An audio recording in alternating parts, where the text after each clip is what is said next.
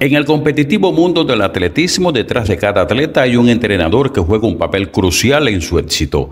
Para la campeona mundial de los 400 metros y oro olímpico en la cita de París, Marilady Paulino, tenemos que mencionar al entrenador cubano Yacen Pérez, un hombre que cada jornada de su vida se llena de desafíos y logros. En República Dominicana todavía se festeja el récord impuesto por su atleta quisqueyana de 48 segundos 17 centésimas en una inolvidable carrera protagonizada por la llamada Gacela de Bissau y quienes ambos disfrutaron de los agasajos de una multitud de pueblo en calles y avenidas.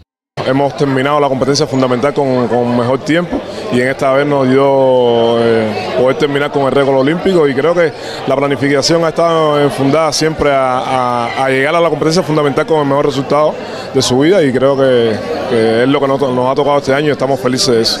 Creo que Marilei se disfrutó de estos Juegos Olímpicos mejor que, que cualquier otro, salió a disfrutar sus juegos salió a hacer el trabajo y estuvo todo el tiempo concentrada. Creo que si hubo algún momento presión, la manejamos entre ella y yo, pero nunca, nunca nos presionamos a lo que queríamos hacer, ¿no? Siempre sabíamos que le íbamos a dar un, buen alegrón al pueblo dominicano y eso fue lo que hicimos. La entrega, esfuerzo, disciplina, coraje, perseverancia y fortaleza son palabras que distinguen a la medallista de oro de la cita olímpica, el único título alcanzado por la bella Quisqueya de seis preseas alcanzadas en la cita y que al decir de su entrenador, otro compromiso se avecina para seguir escalando a lo más alto del podio. No, ni tanto descanso. Vamos a estar unos días aquí en la República. Tenemos compromiso que cumplir. Competimos ahora el 25 en Polonia, una de las paradas de la Liga de Diamantes, 18 la final y terminamos el 26 de septiembre la temporada. La historia del entrenador cubano Yacen Pérez y su campeona de las pistas, la dominicana Marileidis Paulino, es una prueba de que el talento y la determinación pueden superar cualquier obstáculo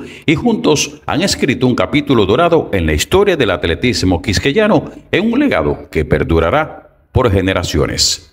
Enrique Portuondo, Canal Cubano de Noticias.